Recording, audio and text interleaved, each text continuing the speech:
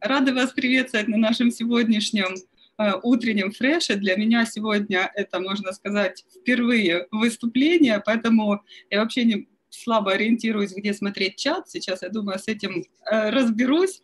А, и э, Хочу пожелать вам доброго утра, результативного дня, и начать это утро мы с Кириллом предлагаем вам с такой интересной темы, как эксперт. Нужно ли быть экспертом э, для того, чтобы э, давать людям информацию? И как быть полезным, э, если ты еще пока не эксперт? Напишите, пожалуйста, кому откликается эта тема, кто вообще пришел сегодня на наш утренний фреш для того, чтобы получить ответ на этот вопрос. Вот кто не случайно получил эту ссылку, зашел посмотреть, о чем там вообще будут ребята, и кто они вообще такие, о чем они будут говорить. А кто вот сегодня целенаправленно? Напишите, пожалуйста, в чате плюсик, чтобы мы поняли, э, ну, кто пришел целенаправленно. А кто просто так, тоже напишите, что, зачем пришли, чего ожидаете. Да, друзья, это очень важно, чтобы мы не просто тут были вот, головами, да, две головы, которые вам что-то тут говорят, что мы были вам полезны, и нам важно знать, или вам вообще это надо. Мы, мы с собой говорим или будем все-таки вам что-то делиться каким-то своим опытом. И мы не эксперты, сразу говорю, и я себя никогда не считал ни в какой сфере экспертом, и, наверное, не буду считать. Объясню немножко попозже, почему. Ну, а прежде, э, пока вы пишете, я воспользуюсь моментом, пока вы ставите плюсики, еще 10 секунд есть. Э, я представлю вам Олю. Оля у нас сегодня первый раз в качестве э, спикера. Она тоже прошла со мной школу спикеров просто обалденная школа, нестандартный спикер. И мы теперь вдвоем можем с ней вещать от сообщества, от нашей команды замечательной Happy 24. Друзья, Оля э, имеет огромный просто опыт э, в сетевом бизнесе, в MLM-бизнесе, в интернет-бизнесе. Э, она замечательный просто человек, у нее больше 9 лет стажа, представляете? Назову это стаж, да, потому что это опыт просто колоссальный. И я тоже постоянно перенимаю, постоянно слежу за ней. И это очень, очень творческая личность, очень реально такой обалденный, сильный сценарист. Она настолько крутые, у нас пишет нам такие сценарии и тексты, вы себе не представляете просто. Ну, реально вот очень классный, позитивный человечек и в то же время неимоверно сильный лидер. Вот такая, вот знаете, вот как такая, уф. Ну, хватит, хватит, Кирилл. Не, ну я говорю просто вот реально, как вот для меня кем ты являешься, то есть я за тобой давно слежу, я знаю, ваше классное семейство. Я за ним тоже слежу. Юрий, привет, кстати. Вы очень крутая семья, вы вообще молодцы, и вы пример для подражания. Так. Спасибо большое, Кирилл. Вот это представление, так только ради этого можно было прийти сегодня на утренний фреш, чтобы послушать, что тебе народ говорит. Ну, спасибо большое, очень приятно. А, ну, практически могу сказать тоже о тебе, но единственное, насколько я э, знаю, опыта именно в бизнесе у тебя чуть поменьше. А так, э, насколько я тоже э, наблюдаю, друзья, ну, наверняка вы тоже заметили, Кирилл, это мега-позитив, семьянин, бородач, человек, который всегда делится своим опытом, кстати, по поводу сценариев для наших видеороликов, которые мы все вместе с вами уже реализуем. Э, в нашем чате диванного монстра, э, то как раз э, Кирилл сейчас принимает уже напрямую непосредственное участие в составлении этих сценариев, поэтому Кирилл ну, тоже является абсолютным практиком, активным участником нашего сообщества BeHappy24, и что немаловажно, результативным участником, у которого строится активная команда. И как раз вот то есть сегодня мы поделимся с вами своим опытом и, конечно, а, попросим вас, чтобы вы нам давали максимально обратную связь, чтобы у нас был такой интерактив. Э, мы не просто с Кириллом вышли пообщаться друг с другом, а действительно хочется быть полезными для вас, потому что у каждого из нас э, был тот этап, когда мы там э, первую неделю э, начинали заниматься, допустим, бизнесом или в каком-то другом направлении, э, потом, допустим, первый месяц, и ты в этот момент э, думаешь, тебе уже можно делиться информацией или тебе еще только нужно самому практиковаться, только вот что-то собирать, э, какую-то информацию. И вот на эту тему мы сегодня с вами поговорим. Скажите, пожалуйста, было ли у вас такое вот, э, или перед этим давайте мы с вами кстати, давайте теперь с вами познакомимся. Друзья, кто у нас сегодня на вебинаре? Напишите, пожалуйста, единичку, если вы участник нашего сообщества BeHappy24. И нолик, если вы просто пришли к нам сегодня в гости, потому что вас тема заинтересовала. Единичку, если вы участник нашего сообщества, и нолик, если вы в гости, в гостях. Да, друзья, пока вы пишете, Спасибо большое, Оль, что ты представила меня. Я только пытаюсь, мне еще до тебя далеко, тем не менее я пытаюсь, потому что мы в такой команде единомышленников, на самом деле очень легко это все делается. И творческий просто потенциал у тебя развивается просто там семимильно. То есть на простой какой-то работе, там, в каком-то бизнесе, там, еще чем-то, каким-то занятием, как правило, притупление идет, да, то есть ты сам должен этим заниматься, и никому не интересно там твоя творческая какая-то там душа твоя или там порыв. А здесь наоборот, здесь как бы сообщество тебя берет, говорит, раскрывайся, раскрывайся, тебя там еще потрусит, да. Вот это мне очень нравится и очень импонирует в нашем сообществе. Так что я там еще пытаюсь только, где-то там лезу карабкаюсь к вашему уровню, ну ничего. Да, друзья, ставите, вижу единички, ставите есть нолик один. Алексей пришел, есть единички. Спасибо большое за обратную связь. Друзья, и прежде чем мы начнем, как Оля сказала уже, а, у нас тема будет эксперт, да, то есть кто такой вообще эксперт? Как вы думаете, вот напишите, пожалуйста, в чате, кто такой эксперт? Кто же это такой, где вообще его можно найти и что это вообще такое за понятие эксперт? Как вы думаете? Вот напишите, пожалуйста, в чате ваше мнение. И мы постепенно с Олей поделимся еще своим тоже мнением. Так, а пока вы пишете, пока вы пишете, мы с Олей... Ну, Оль, надо, чтобы кто-то начинал. Ты, может, ты начинай или как? Ну, я думала, мы уже начали. Не, я имею в виду, там, может, уже надо рассказывать там дальше. У нас какой-то сценарий есть там или, или мы так просто говорим? Мы сейчас палимся. Нет сценария? Черт. Друзья, у нас никогда нет сценария, мы реально просто говорим, как есть, от души. То есть мы приходим с хорошим настроением, поднять его вам, развеселить вас и, конечно же, дать какую-то ценность, которая для нас является тоже опытом и так далее. Ну, Оль, блин, сегодня просто нас поставили двоих новичков, и нет какого-то старшего спикера, который бы нам говорил, так, говори, так, делай. И мы вот это сидим такие, ну, ну давай, короче, надо нам решить, кто первый будет начинать. Как будем решать? Ну, давай, предлагай. Ну, я предлагаю там, можно камень, ножницы, бумаги сыграть там, и кто выиграет, тот начинает первый. Давай, Пойдем? только скажешь мне, кто выиграл. А, хорошо, давай, давай.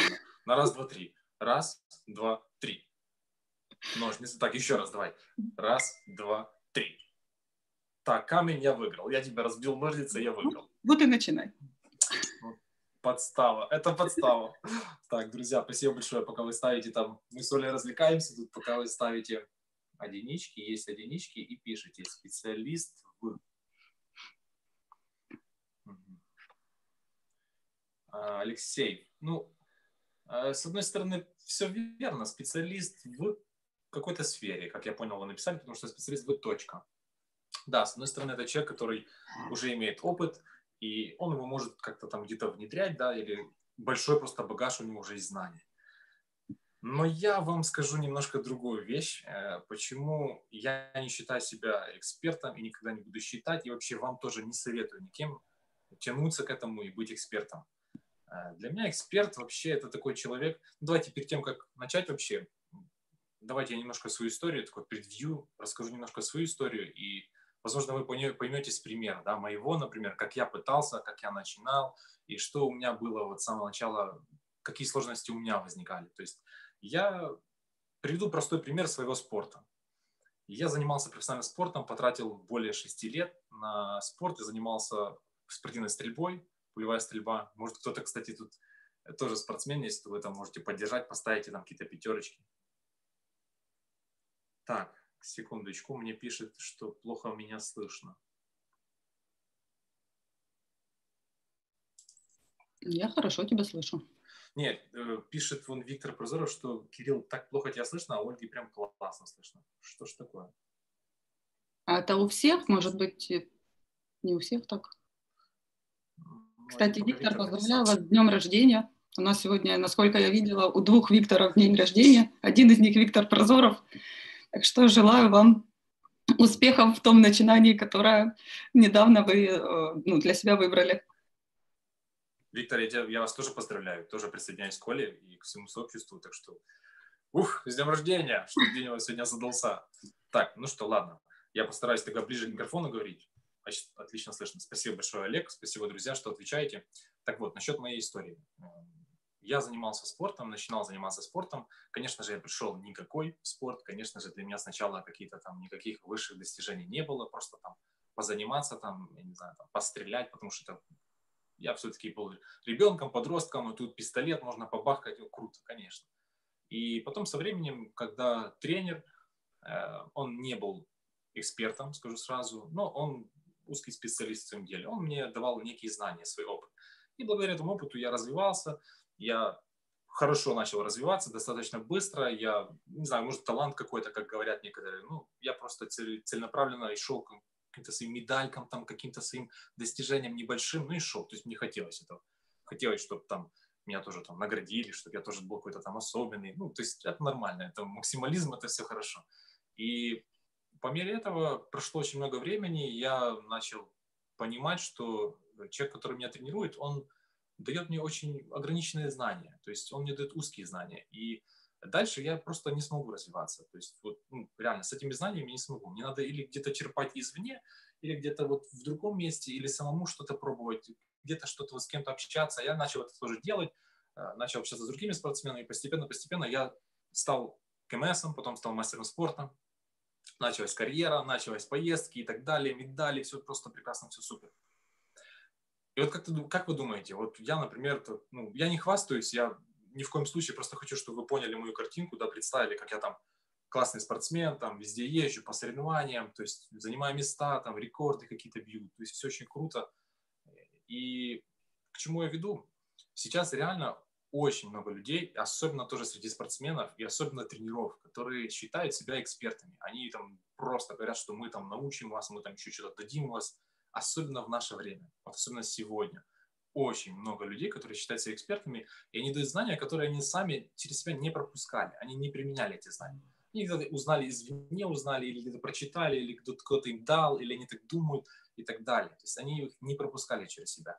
И с этим же столкнулся я, когда вот с тренерами я общался, я понимаю, что тренер не может мне дать этих знаний. И я начал искать дальше где-то знания. И я изначально постепенно находил их у людей такого же уровня, как я. То есть я с ними общался. Когда я понял, что все, я исчерпал этот момент, мне надо дальше идти. Я начал общаться с мастерами спорта. То есть я начал свыше немножко общаться с контингентом. То есть к чему я веду? Вот эта вот таблица такая вот, да, вот, можно поделить ее условно. Когда ты новичок, потом ты где-то там специалист, а потом как бы ты типа эксперт. Но экспертом сложно назвать. То есть если в моем случае эксперт это был уже там 20-летний заезженный там ЗМС, заслуженный мастер спорта, олимпийский чемпион, который уже все повидал, уже просто все сделал. Вот это для меня был эксперт. И с такими людьми я очень хотел общаться, очень хотел перенимать и хотел понять, как же они вот работают. И к чему я веду? Что у нас есть вот эта, деград... вот, вот эта градация, да? Она, это абсолютно нормальные вещи. И все мы есть новичками. И это нормально, когда мы учимся. То есть не надо вам быть экспертами, вам не надо сразу вставать каким-то супер там пупер вы по-любому должны начать, какое бы дело вы ни начинали, с чего бы вы ни начинали, что бы вы ни вели, чем бы ни занимались, вы должны быть вот этим новичком сначала. И если вы примете это, если вы будете к этому относиться как должно быть, вы постепенно сможете набраться того уровня. И даже если вы уже начали, и вы не знаете, вот как наша тема так и называется, как быть полезным, и вы не знаете, как быть полезным людям, как им донести информацию, как там что-то рассказать им, как их привести, даже в тот же самый бизнес. И вы думаете, блин, надо стать экспертом, а потом буду говорить. Это ошибочно. Потому что есть большое количество людей, которые имеют уровень намного ниже, нежели вы. И они, им просто, вот им капец, как надо вот вашу информацию, им надо ваше состояние, ваши страхи, ваши сомнения, ваши ситуации. Они должны где-то их взять. Эксперты им никогда этого не дадут. Эксперты это уже прошли они уже по-другому относятся к тому же страху, к тому же переживанию, понимаете? Я год назад, чтобы мне кто-то сказал год назад, что я буду выступать, там буду спикером сообщества, вы что, люди, я камеру боялся взять, там себя снять, понимаете?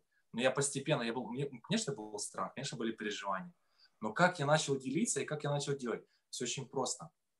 Я не давал людям э, 10 советов, как снять видео. Я этого не давал. Я брал и делился, откровенно писал, что, друзья, мне страшно, но я взял, у меня рука трусится. Что я сделал? Так, чтобы рука не трусилась, можно какие-то выпить успокоительные, а можно возле дерева встать и там прислонить. Вот. То есть я делился этими эмоциями, этими переживаниями. Не будя экспертом. И поверьте, мои знания, они кому-то нужны. Они, они однозначно кому-то будут нужны. И они будут ценны. И вот для меня эксперт, лично для меня, ну, я не люблю это слово, но тем не менее, эксперт – это человек, который делится своим опытом, очень большим опытом, и при этом этот опыт может применить другой человек. Он может научить этого человека, и у человека будет результат. Вот этот человек может себя называть экспертом. То есть действительно. А если этот человек просто все выучил, супер гений, все знает, изучил эту просто от и до, там, ну, нишу там, или как какой-то бизнес, и ни с кем не делится, и нет у него учеников, он никого не научил, он не знает, как на практике применить или как это вот передать, то это, наверное, больше какой-то, я даже не знаю, как это назвать, наверное, какой-то больше ученый, да, который вот выучил отдельную, а, отдельную какую-то нишу, и он там просто вот плавает. Но это не эксперт. Как по мне, эксперт – это человек, который должен иметь опыт во всем. В передаче знаний, в применении знаний. То есть он должен знать действительно, как это все, как это все работает. Абсолютно каждое его слово. И он должен уметь делиться с другими людьми. Вот у меня была такая же ситуация абсолютно в спорте. Абсолютно такая же ситуация была. И, и я это прошел, и каждый человек это проходит. И мой посыл вам – не надо быть экспертом. Не тянитесь никаким экспертным мнением. Не будь... Зачем оно вам надо? Вот реально, зачем вам эта экспертность? Будьте самим собой. Просто откровенно, каким вы есть. И делитесь теми переживаниями, эмоциями, состояниями, которые у вас сейчас есть. Делитесь, они очень нужны другим людям. Поверьте мне. И постепенно вы будете расти. То есть это можно еще так взять, например, к примеру, сравнить там двух людей, может, это быстренько, Оль, сори, я забираю немножко времени, сравнить двух людей, и один человек будет делиться прям каждый день что-то вот писать, что-то рассказывать, что он делает, как он делает, на аудиторию, на, среди даже близких, друзей, он будет постоянно рассказывать, что вот я там сделал то, сделал то, сделал то. А один человек будет супер знания поглощать, еще больше, еще лучше, качественнее, чем этот первый человек. Но ни с кем делиться не будет. И вот они начинают какое-то свое дело или бизнес, или даже там видео надо им снять. Как вы думаете, у кого аудитория будет э, покачественнее, получше и поотзывчивее? Как вы думаете, у первого человека или у второго? Оля, ты как думаешь? Э, я думаю, у практика будет качественнее. Да, да. во-первых, э, во-первых, этот практик, он делится с людьми ценностью, и уже есть вот это доверие, уже есть вот это вот Э, близость, можно сказать, да, вот это чувство уже, то есть свой человек, и он действительно ценной очень информацией делится. А тот, кто в себя там что-то, он когда выходит, говорит, друзья, я все знаю. Ну, друзья же его не знают, люди же не знают, что он там что-то знает. То есть вот очень важно делиться этим всем на пути, от начала и до конца, и не бояться этого. Так, Оль, я уже перевысил свой лимит, у меня там, по-моему, было буквально 5-10 минут, я уже больше говорю, так что ты ну, меня, ты, ты мою наглую морду затыкай, потому что у меня такая натура, я могу говорить и говорить, не останавливаться. Да, что... да, я бородачи вы такие. Да, а, ну, тебе известно, тебе как, как никому близко это известно, да? Да, спасибо тебе за, ну, я так прям прониклась историей, причем несколькими историями, так всегда, всегда я, лично я люблю слушать опыт, ну вот практический опыт, то, что ты сам пережил с реальными примерами, не то, что там книжки почитал и рассказал, вот как и ты сейчас говоришь, ты можешь накапливать, накапливать эти знания, но вообще знания имеют свойство устаревать, ты их пока будешь все изучать, они уже устареют, пока ты успеешь миру их передать. И вот я хочу продолжить э, нужно ли быть экспертом или можно начинать быть полезным людям как бы уже на своей стартовой точке. Вот, друзья, вспомните, пожалуйста, было ли у вас такое, когда а, вы а, что-то людям а, рекомендовали, ну вот, например, а, пошла я в, на фитнес, и я же не являюсь фитнес-тренером, но я, так как мне нравится эта атмосфера, так как мне нравятся, может быть, мои первые результаты, или я вдохновилась результатами Э, людей, которых я вижу в окружении, я же могу в этот момент уже кому-то рекомендовать также прийти на фитнес.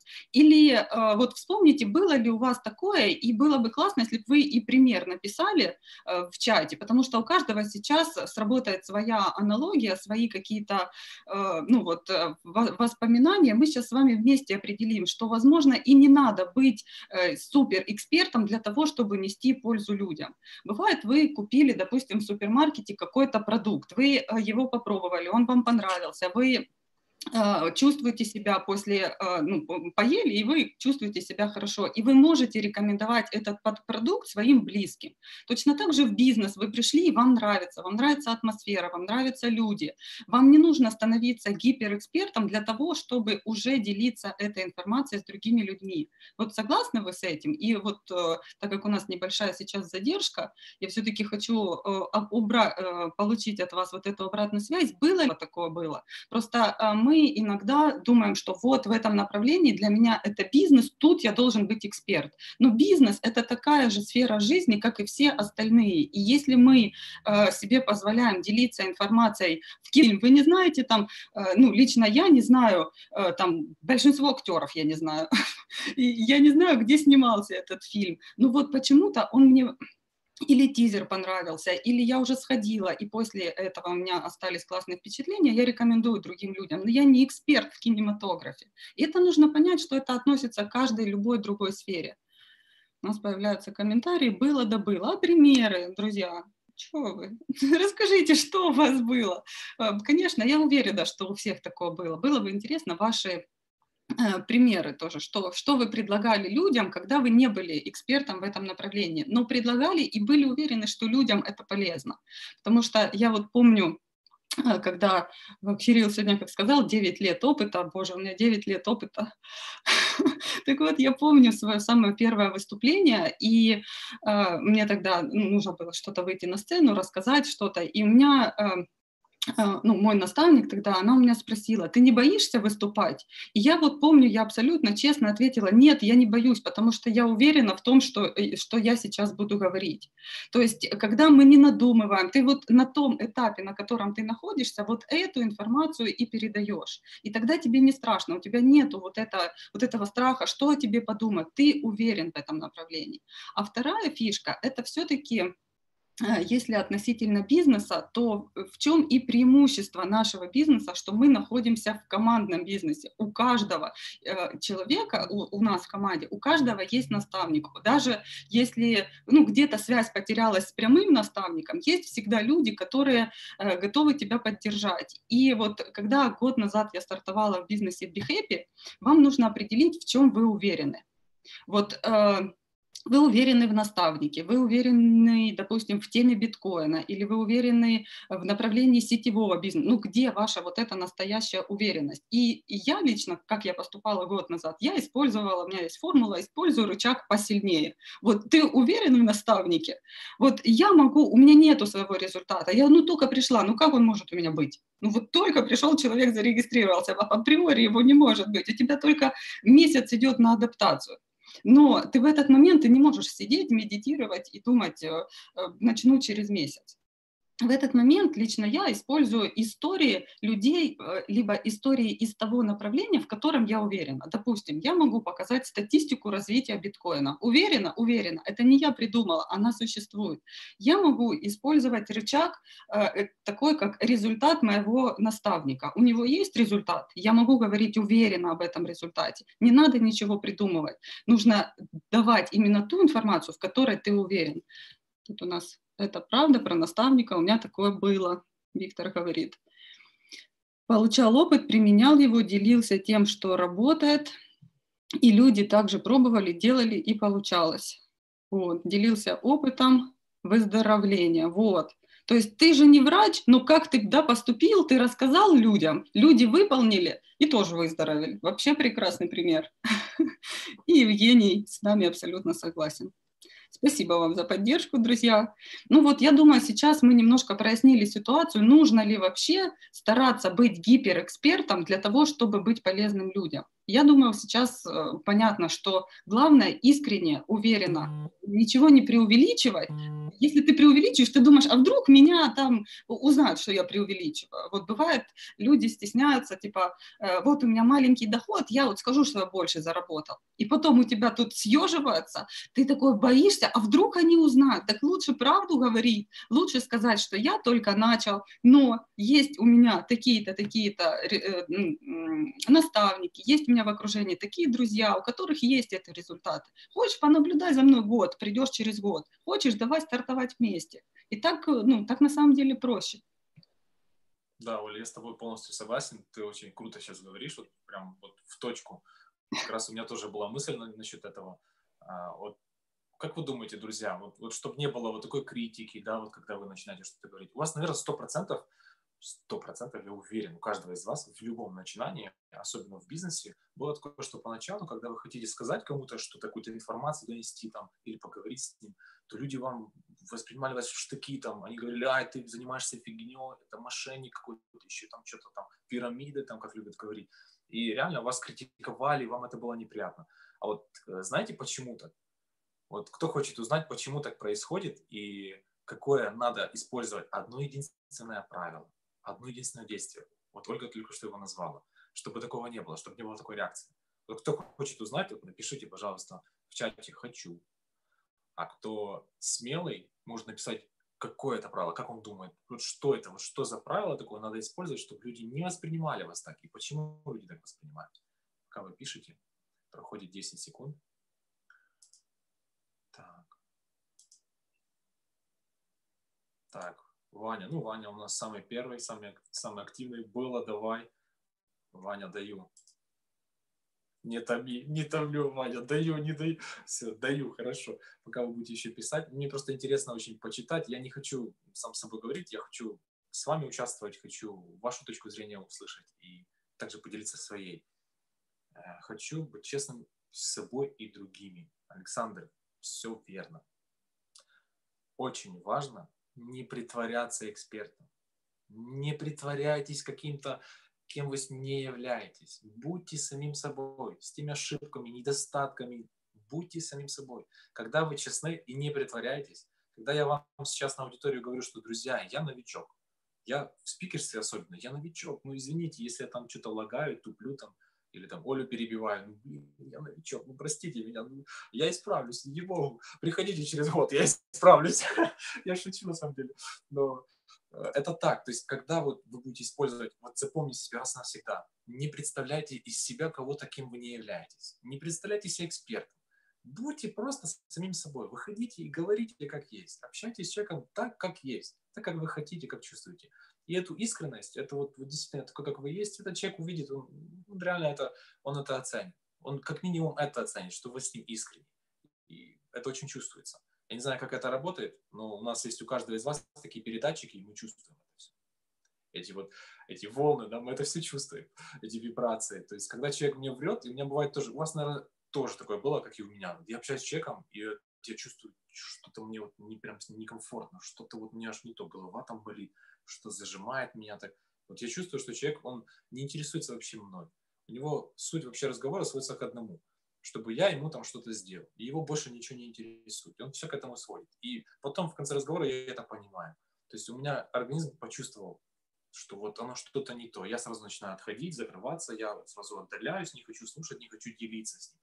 Когда человек передо мной сидит и открытый, веселый, я прям сам ему там всю душу выливаю, и все отлично. Так, Почитай быстренько комментарии, очень интересно. Спасибо, что отвечаете.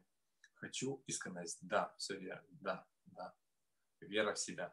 Да, Евгений, то есть, когда вы ничего не скрываете, вы искренний, то вы такой, как есть. То есть, вы в себя верите, вы себя комфортно чувствуете и притягиваете таких же людей. Вот согласен, через эту причину очень долго хотел. Да. Да. Спасибо большое, Вань, что делишься. Хочу. Так, вот согласен через эту причину. Бога. Спасибо большое, друзья, что делитесь с нами. Это очень и очень круто, когда есть какой-то ответ. Так, вот Евгений, Евгений затронул тему веры в себя.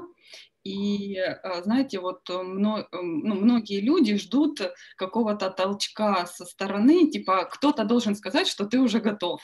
Вот спонсор, ну что, я там уже готов, но мне, мне уже можно это делать. Вот э, мы привыкли, там, в школе нам говорят, все, вот твой диплом, теперь ты можешь идти устраиваться на работу или на работу ты пришел, вот тебе выдали разрешение, теперь ты можешь там пойти в отпуск, или тебя повысили. И вот люди, которые, э, ну, которых еще, еще сами не научились, что самостоятельно как бы принимать, что все, я теперь уже сам могу, я могу сам выступать, я могу сам делиться э, информацией в интернете, я могу сам определять, э, ну, сам себе разрешить. Вот, друзья, разрешите себе, разрешите, вот все, можно, можно, можно делиться информацией и возьмите эту ответственность на себя. Не, не ждите, что вам кто-то должен разрешить вот это. И вот эта уверенность э, в себе, когда-то мне а, помогал а, такой инструмент, как журнал э, успеха. Это своеобразное такое, как а, подведение итогов, но обычно мы как? Ставим план и подводим итоги. И, а вот журнал успеха – это подведение итогов без постановки цели. То есть вечером, перед сном, ты заводишь себе тетрадку, ну, там можно на 96 листов побольше, может, вам ее хватит на несколько лет, может, на месяц, ну, кто как себя будет хвалить. Э, и вечером перед сном открываешь эту тетрадку и пишешь пять пунктов, почему ты сегодня молодец. Вот прям пишите туда, сварили борщ, пишите, написали пост в интернете, пишите, погуляли с ребенком, вы молодец, вы считаете себя, можете себя за это похвалить, что вы уделили время сегодня, и у вас будет постоянно э, ну вот, эм, увеличиваться уверенность в себе. Вы одну неделю попишете, вторую будете писать каждый вечер пять пунктов, почему я сегодня молодец. Через месяц вы откроете тетрадь и просто, ну вот, поделитесь потом через месяц, как вы будете, ваше ощущение ощущения внутренние, как вы себя почувствуете. И вот эта тетрадка, она вам будет помогать в те моменты, когда вы будете думать, блин, что-то у меня давно результата нету, что-то я там, наверное, я не готов сейчас чем-то делиться. А, и потом открываете тетрадь, а там написано, за неделю вы написали там минимум 25 пунктов, почему вы молодец. За месяц вы написали 100 минимум пунктов, почему вы молодец. И что, вам это не дает повода поделиться людям полезной информацией? Конечно же дает. Поэтому вот эту веру, уверенность в себя, ее тоже можно прокачивать. Просто мы иногда относимся к себе очень критично и не позволяем. Можно, уже можно, друзья, все готовы, э, все как бы у каждого есть э, какой полезной информацией поделиться. И вот хотела бы, э, чтобы, знаете, я люблю посмотреть на ситуацию как бы со стороны. Вот мы с вами все находимся в интернете, э, и у кого-то хочется обучаться, а у кого-то не хочется. Вот ты видишь, он классно выступает, красивый заголовок, профессиональный ролик, и тут выходит какой-то парень в поле, и ты почему-то у него решил именно его услышать. Вот давайте мы сейчас с вами вспомним э хотя бы одно, одно-два таких вот ключевых момента, э, которые вас, э, ну вот, привлекает. Мы видим информацию в интернете, одну воспринимаем, вторую не воспринимаем. Почему вы у кого-то хотите учиться, а вторую не хотите? И мы с Кириллом не только своим опытом будем с вами делиться, а вот и брать ваш опыт. И это нам всем вместе вот поможет составить такую целостную картину. Что, какое одно-два ключевых факта влияет на то, что вы хотите обучаться у этого человека. Может быть, это экспертность, может быть, это то, что человек практик, а может, это вообще что-то другое. И может вообще, ну вот давайте посмотрим, как оно работает. Напишите в чате, пожалуйста, что это за один-два, вот что первое вам приходит на ум, у кого вы хотите обучаться я как бы э, все-таки обращаю внимание на экспертность, ну, навязывать мнение. Да, ты очень правильно сказала. Я, конечно, бы почувствовал, с кем бы я хотел бы. Экспертность это хорошо, но для меня сейчас очень главную роль играет человек, да, вот что за человек и какое-то ощущение, которое я испытываю с ним находясь. Вот это мне очень важно. То есть хочется реально быть в окружении классных, хороших людей. Вот это мне очень важно. Так что я выбираю поле. Я бы пошел бы поле к мужику, пообщался с ним, я уверен. Но, тем не менее, эм, хорошую, классную информацию мы можем узнать тоже от эксперта. Ты очень правильно сказала, то есть, чтобы люди поделились, потому что иногда люди одну и ту же информацию по-разному воспринимают.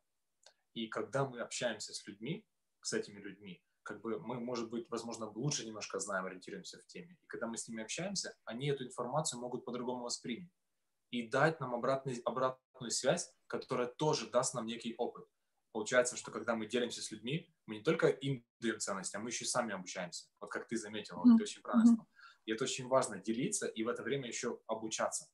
Потому что действительно кому-то сказать там, что вот не знаю, там, солнце ярко светит, кто-то скажет, ой, как печет, кто-то скажет, ой, как жарко, кто-то скажет, ой, как классно, да, или там, то есть разные вообще восприятия, и мы как раз от этого обратной связи учимся, тоже обучаемся, принимаем какой-то опыт. Так. Ну что, люди пишут? Да, у нас появились ответы. Александр говорит, наличие бороды – залог успеха. Респект, Александр, все, вот это я, вот это я понимаю, поддержка, вот это солидарность. Искренность человека, наличие результата, его улыбка и глаза. Да. Практик, добрый человек, знакомый. Вот, то есть нужно, да, понимать, что если ты вчера пришел в интернет, сегодня начинаешь обучать, то людям нужно к тебе присмотреться. То есть, э, возможно, нужно какое-то время, чтобы они начали тебе доверять. Почему и э, знакомые, с которыми у тебя налажены контакты, возможно, быстрее среагируют на твои какие-то предложения. Искренность, открытость и практика, Ольга говорит. Ну вот, друзья, практически э, наличие бороды вообще побеждает значит, привлекает, да, человек не говорит шаблонными фразами. Искренность видно сразу. Вот, то есть не, практически никто из вас не пишет о том, что человек какой-то эксперт.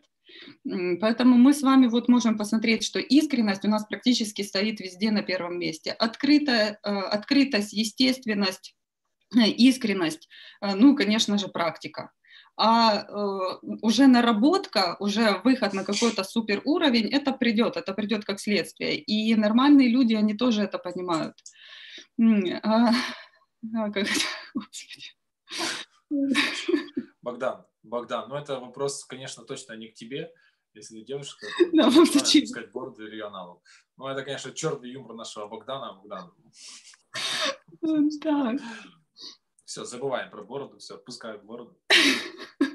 Отпускаем. Так, ну вот, значит, смотрите, теперь э, давайте конкретно, да, что конкретно делать? Ну вот, э, что, что, как конкретно быть полезным людям, быть полезным людям, э, допустим, если ты даешь информацию в интернет, ты не эксперт, ты только начал. Кирилл, хочешь что-то посоветовать? Конечно, очень хочу. Я прям сижу, руку тяну, тогда я просто не видно. Да, Оль, спасибо большое за слово. Ну, на самом деле, я сразу вспоминаю, вот э, у меня хороший очень наставник, человек, которого я учусь и обучаюсь прям духовных тоже каких-то навыков, перенимаю у него это все.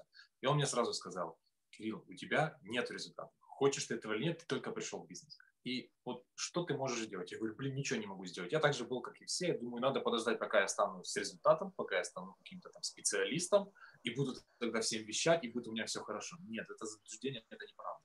И он говорит, Кирилл, запомни, покажи просто вот все новички, которые вот действительно к чему-то стремятся, они должны показать это стремление. Покажите, что вы хотите, чего вы хотите и как вы к этому идете. Покажите ваше стремление. И вот я тогда вот так посидел, подумал, думаю, да, действительно. Я хочу, у меня есть цель, какая там цель есть. Хочу полететь в Таиланд. Отлично, да, или хочу полететь на Мальдивы. Хорошая цель. Как мне ее вот исполнить? Так, первое, я должен это показать и поделиться с людьми. Друзья, у меня реально есть такая обалденная цель. Я уверен, я дойду все. Я людям показываю это все. Я просто людям говорю, что я это хочу сделать. Я хочу к этому идти. Я показываю, показываю стремление. Я там, получилось у меня немножко что-то. Я говорю, вот, я немножко ближе стал к цели. Не получилось, ну, сегодня немножко на месте стою. Завтра будет по-любому там шажочек сделаю к своей цели. Я это показываю стремление, я показываю это развитие. И вот как раз вот этот вот путь очень важен для людей, вот как пример. И также вот, как я лично, например, использую, что я лично использую, очень крутой пример – это тайм-менеджмент. Вот я общаюсь с многими людьми, с многими партнерами, и у меня друзья очень большое количество друзей, и бизнесменов, спортсменов. И некоторые вот меня спрашивают, как ты успеваешь? Типа, вот, блин, ты то делаешь, что делаешь, типа, как ты успеваешь? И я делюсь с людьми тайм-менеджментом, с партнерами тоже. Я просто беру, вот банально расписываю свой день на бумажке, там, да, показал им, говорю, вот смотрите, что я сегодня запланировал. Оно у меня, конечно, не всегда получается, то есть это нормально. Но я это показываю все. Через тайм-менеджмент я просто беру это и делаю что я хочу сегодня достичь, сегодня, там, за неделю, за месяц. Я это показываю. И люди смотрят, и плюс я показываю, как я к этому иду. Они это видят. Если я там написал, что я хочу написать пост какой-то, да, вот там в 12 дня, раз у меня пост выходит. Я там сижу, у меня капец, голова кипит, думаю, что что написать такое там интересное. И вот написал там, что-то у меня там вылезло, да, там народил. Люди видят, он, действительно, он там написал пост. Я это все показываю, вот это стремление к своим результатам. Это самый простой способ для вас даже, даже тот же тайм-менеджмент. Показать его людям, как вы ним занимаетесь, как вы планируете свой день. Очень крутая штука, реально, всем рекомендую. Ольга, давай бомби вторую часть. Круто, классно. Вот действительно, люди любят, знаете, наблюдать шоу за стеклом. Вот почему они так любят вот эти реалити-шоу и, и прям смотрят с утра до вечера, все дела убирают, и прям вот им интересно. Несмотря на то, что там это все дело постановочное, а вы можете показывать реально, реально, это люди любят, они любят наблюдать за другими людьми.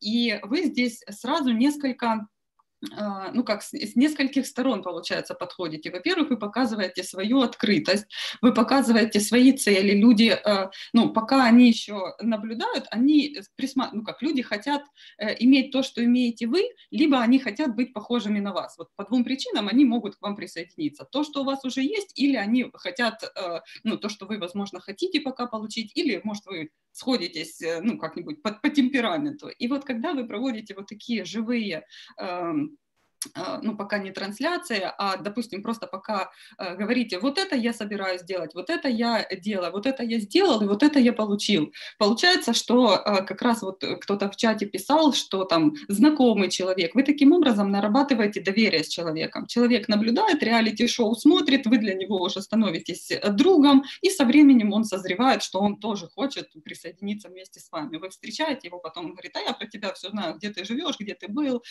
все, ну, все про тебя знает, а вы человека видите в первый раз.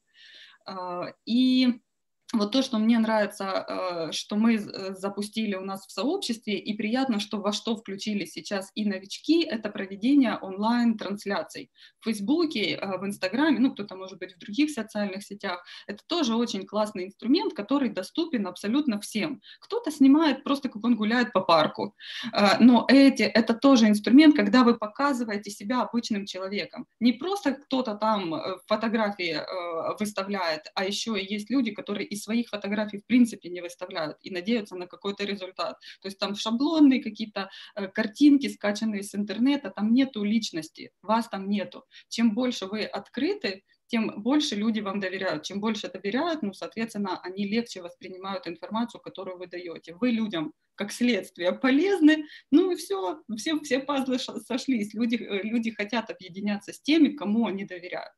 Вот, поэтому если вы еще не взяли э, инструмент э, этот, прямые трансляции, возьмите, попробуйте. Вначале даже хорошо объединяться с кем-то. Если тем более у вас нет своего результата, возьмите свое, попросите своего наставника выступить вместе с вами, передать опыт.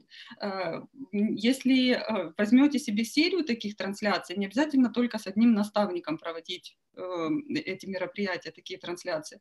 Вы можете брать людей, у которых есть уже результат результаты, которые находятся в вашем окружении. Это будет и полезно людям, это будет и открытость ваша. То есть это то, что люди хотят видеть. Ну и как следствие вы будете получать те результаты, которые ну, вас вдохновляют.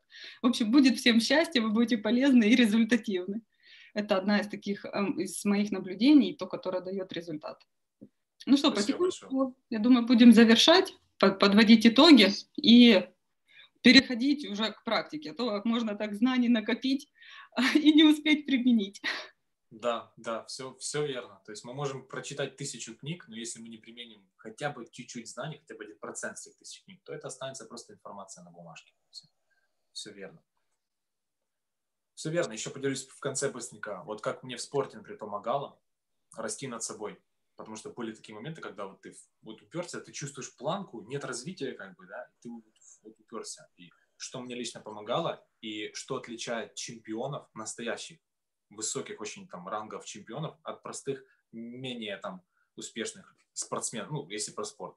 Вот как вы думаете, что их отличает? Вот напишите, пожалуйста, в чате, вот, что они делают для того, чтобы вот вставать еще лучше. Как вы думаете? Напишите быстренько в чат, это последний вопрос буквально к вам будет. Потому что я прошел достаточно такую серьезную школу, и спорт мне дал очень много чего, прям очень много чего. Я безумно благодарен ему. И я заметил эту особенность у сильных очень чемпионов. А, в принципе, вот все равны. Все тренируются у одного тренера. Тренер сборной. Он классный, опытный очень. Все тренируются там в одних условиях. У всех одно оружие, грубо говоря. Да? Одни, ну, все полностью одинаково. Температура воздуха, там, я не знаю, что там еще. Но вот у одного получается, у другого нет. что тот делает, вот что, на что он обращает внимание, что другие не обращают. Так, что-то начали писать. Упорство, упорство. Э, да, Олег и Александр, вы в частности правы, конечно, целеустремленность. Да, Татьяна. Идея не сдаваться, несмотря ни на что. Да, но не все как бы идут. Все идут, но как он вот преодолевает, как он растет над собой, как он стоит лучше, как он это делает. Вот я заметил это реально, и когда начал применять это, когда начал пробовать это, у меня начало получаться. Ну, действительно, я это почувствовал прям. Концентрация, количество попыток. Да, кстати, Ольга, очень хорошее замечание. Количество попыток, вот говорят, если 10 тысяч часов вы потратите на какое-то дело, на изучение какого-то дела, то вы станете экспертом. Не люблю этого слова, но вы, ним станете. То есть вы будете все полностью знать. Но это приблизительно, если в день тратить по 10 часов, это получается сколько? Очень много. 4 года, да? 400 это, боже, это же сколько надо, сколько надо времени. Ну, короче, грубо говоря, 3-4 года вам как минимум надо, чтобы достичь. Каждодневные действия, количество попыток не только спорт, но и другие сферы жизни. Да, вот тут Ваня зацепил вот правильно. То есть этот человек, кроме того, что занимается спортом, он развивается всесторонне. Это первое. Это очень важно. И он делает те действия, которые другие не делают. Он обращает внимание на его слабые стороны. И он максимально фокусируется на слабых, в том, в чем у него не получается. Как правило, когда мы стыкаемся с чем-то, что у нас не получается, мы его боимся. Мы там все умеем, но прыгать мы не умеем. Бегаем, плаваем, летаем, но прыгать мы не умеем.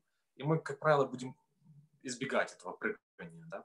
Также вот а профессиональный спортсмен, он наоборот свои усилия направляет в прыжки и он достигает там результата некого. Он, он начинает учиться и понимать, почему, он там не, почему у него там не получается, почему именно там у него не получается.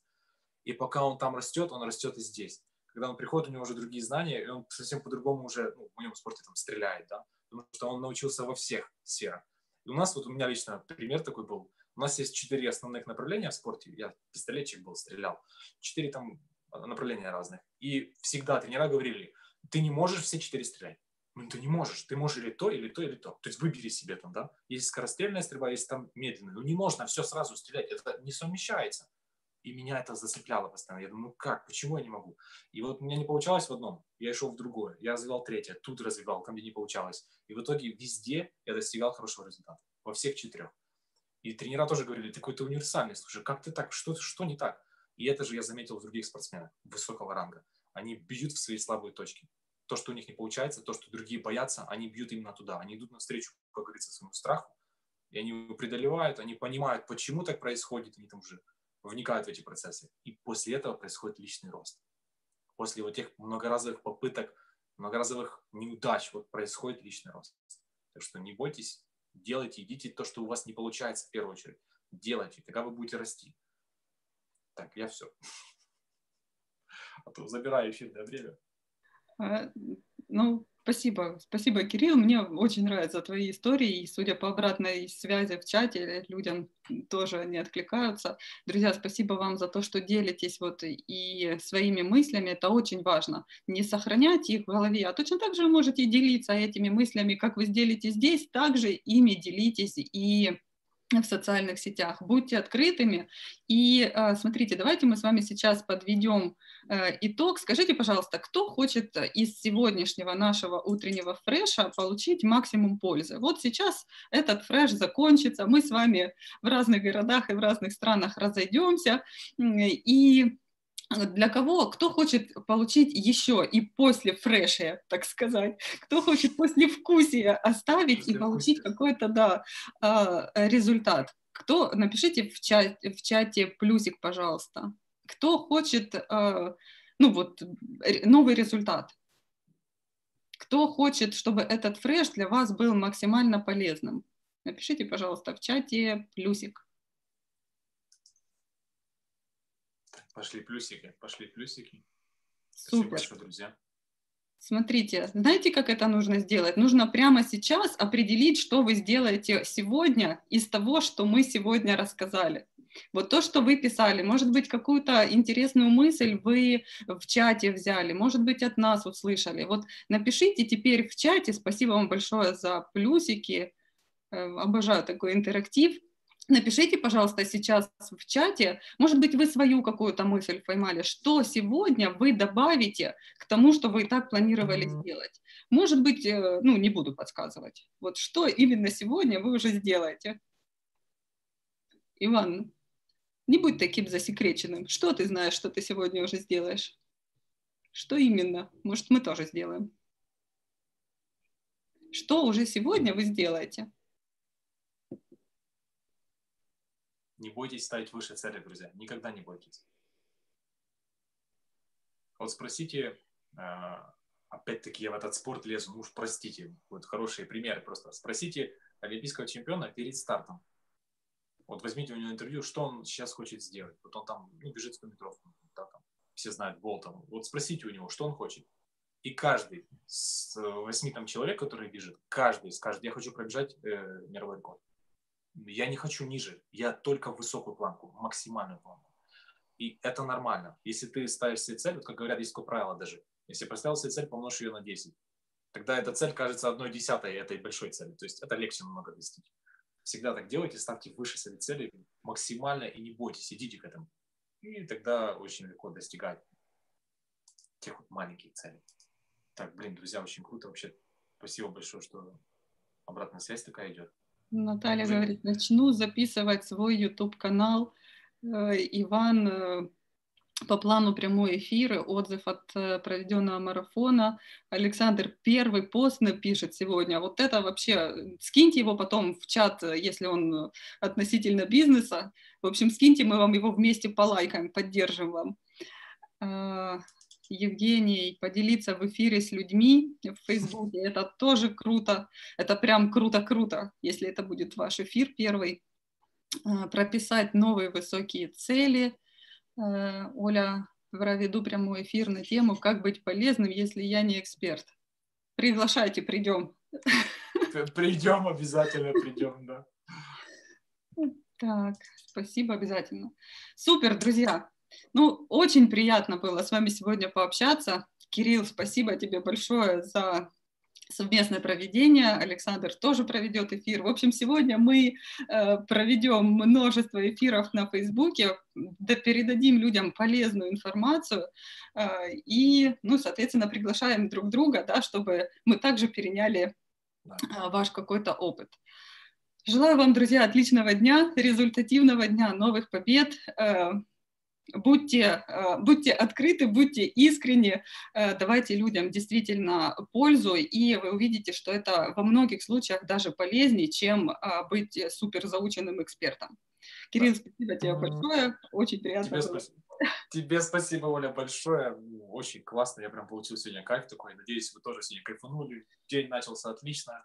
День сидим. Нам очень важно, чтобы выдавали нам ту обратную связь. Потому что иногда бывают такие моменты, особенно у нас, новичков, мы волнуемся, да, и это чувствуется, и мы думаем, блин, никто ничего не пишет. Все.